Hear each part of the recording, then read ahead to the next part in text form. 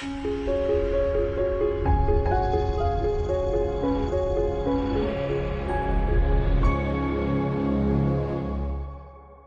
家好，今天是美西时间十月十一日，欢迎收看《万维读报》，我是 Cherry。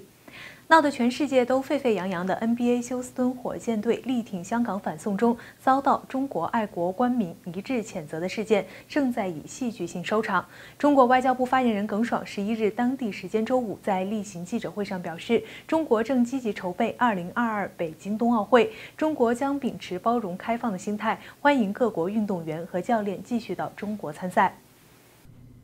NBA 休斯敦火箭队总经理莫雷上周五发推支持香港，引发北京愤怒。中国官媒称这是错误涉港言论。中国篮协立即宣布停止与 NBA 合作，体育频道停止转播，火箭队产品纷纷下架。中国驻休斯敦领事馆要求火箭队立即纠正错误澄清。NBA 因此遭受了极大的经济损失。耿爽还说，无论在中国、美国还是在世界其他国家，开展交流合作的一个重要前提就是要相互尊重。中方会一如既往秉持开放包容的心态，在相互尊重、平等对待、互利互赢的基础上，同国际社会积极互动，继续欢迎外国机构和人士来华开展交流与合作。有评论认为，耿爽的回应比之前中国官方的言辞缓和许多，出现了中国官方为 NBA 风暴降温的氛围。美国之音的报道指出，就在中国政府、民间和媒体火力全开攻击 NBA 之际，中国的做法引起国际极大反。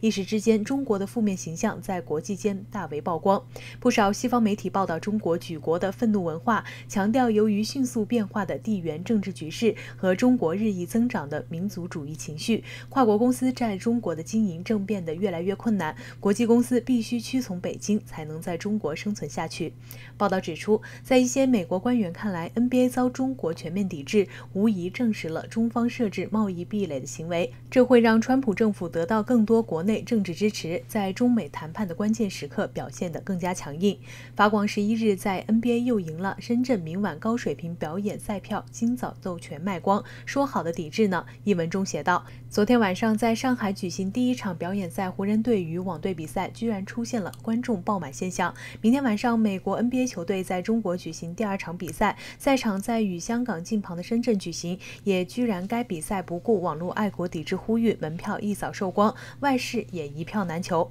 网上爱国批评当地人不争气，让 NBA 又赢了。更有港媒报道，人们似乎忘记了今年六月在日本大阪举行的川习会。习近平在会晤开始时就说，四十八年前，也就是一九七一年，就在离大阪一百多公里的名古屋，参加第三十一届世界乒乓球锦标赛的中美乒乓球运动员进行友好互动。这就是后来人们所说的乒乓外交的开启，创造了小球转动大球的历史佳话。当然，佳话。是假，借机重温友谊，请川普高抬贵手是真。习近平于是又用小球玩了一把政治。讲到这里，NBA 大概已经哭晕。同样是球，乒乓可以搞外交，篮球不能问政治。你家队员说句话就是历史佳话，我家教练讲句话就惹祸挨罚。看来这球怎么玩，标准全由你定。中国官方反腐机构通报，经中共中央批准，中央纪委国家监委日前对四川省政府前党组成员、副省长彭宇行严重违纪违法问题进行立案受审调查。彭宇行因追求低级趣味、大搞权色、钱色交易等严重违法违纪行为，受到开除党籍、政务撤职处分，降为四级调研员。有消息说，彭宇寻分管工业经济、国防科工等工作，网传其落马涉及国安问题。甚至指他被境外情报机构策反。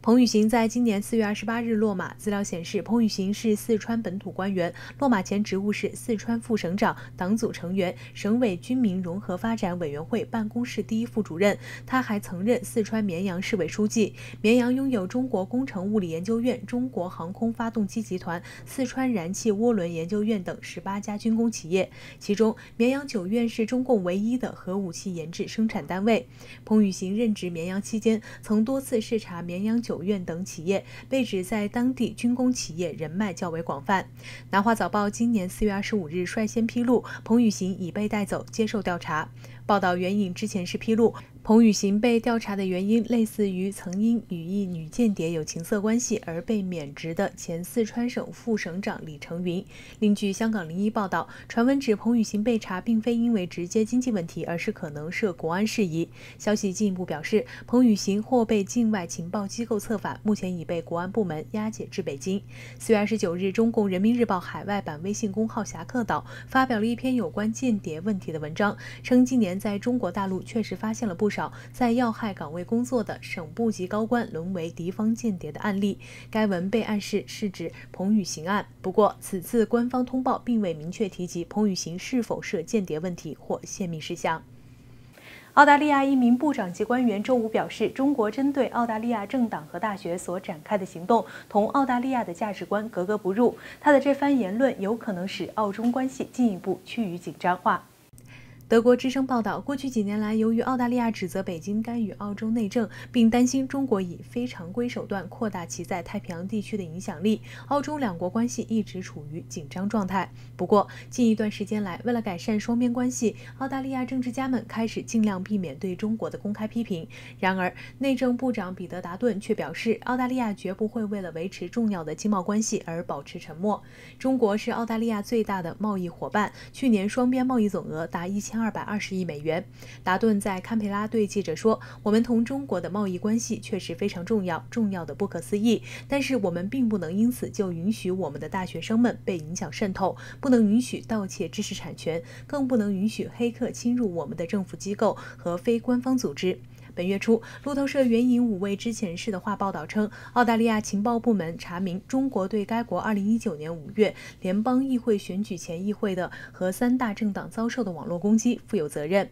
消息人士指出，报告中还包括外交部材料。报告建议秘密保存获得的情报，以免破坏与北京的贸易关系。中国外交部则否认参与过任何黑客攻击，并表示这种没有证据的指责只会产生谣言。外国留学生每年带给澳大利亚。三百五十亿澳元的收入，而中国学生则占留学生总数的三分之一。这一事实更加剧了人们对外国政府施加不当影响的担忧。澳大利亚政界近年来也一直试同同北京的扩张努力保持距离，如拒绝签署中国的一带一路倡议，把中国建设澳洲电网或天然气管道的投标拒之门外，并禁止让华为来参与 5G 无线网络的建设。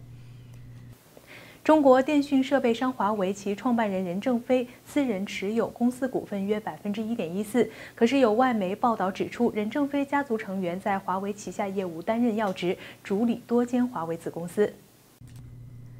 据路透社消息，华为在一百七十多个国家或地区拥有十八万多名员工，经营电讯和技术业务，每年创造超过一千亿美元收入。报道引述集团内部人士指，现年七十四岁的任正非私人拥有仅百分之一点一四的华为股份，却拥有否决权，并定期将其讲话分发给所有员工进行研究。报道点名，华为首席物流官为任正非弟弟任树禄，其职责包括监督建筑、饮食和酒店服务业。在东莞的松山湖新校区新建最后阶段，该校园可容纳2.5万名员工，并为华为深圳总部附近的员工提供了一个新公寓楼，预计将于2023年建成。而任正非的儿子，现年44岁的任平，现领导华为旗下深圳汇通商务公司，该公司拥有中国、泰国、沙特阿拉伯和南非十多家酒店和服务式公寓，而这些酒店大多数为华为员工和客户提供服务。另外，根据中国公司注册记录，任平仍在任正非的妻子所工作的公司上海莫塞尔贸易任职总裁。公司主要销售来自世界各地的进口食品，包括华为品牌的葡萄酒、优质牛肉和优质大米。目前正在加拿大接受引渡美国聆讯的华为公主孟晚舟，之前的法庭材料中也显示曾掌控过多家华为出资的公司。之前曾有报道，孟晚舟的身份在华为保密了二十年，就是想成为华为唯一接班人。十月十一日，消息，李嘉诚旗下长实集团已将大连市一个开发八年还未完工的地产项目，作价超过四十亿元出售给了中国融创。自从香港市民反送中抗争运动爆发以来，李嘉诚的言行被舆论热议。据报道，这个名为大连市西杠山黑嘴子的项目作价超过四十亿元。目前，该项目地块已被融创一号院项目的广告牌包围起来。尝试方面已经确认，约于半年前达成协议出售有关项目，并在四个多月前签约落实。二零一一年十二月二日，李嘉诚旗下的和记黄埔有限公司公告称，以总价十九亿元竞得大连市新港区黑嘴子码头及周边地块，收购后将供发展成住宅及商业物业。而从二零一一年至今，从李嘉诚拿下这块地之后，该项目的开发周期长达八年仍未完工。至于为何该项目的开发过程长达八年还没有结束，常识方面对媒体表示，该项目开发的时间长是因为政府延迟交地所致。目前项目部分楼体已经封顶。近年来，李嘉诚接连抛售中港两地资产，并因此多被中国官媒发文抨击。官媒2015年曾刊文“别让李嘉诚跑了”，称李嘉诚不顾念官方此前对其在基础设施、港口、地产等领域的大力扶持，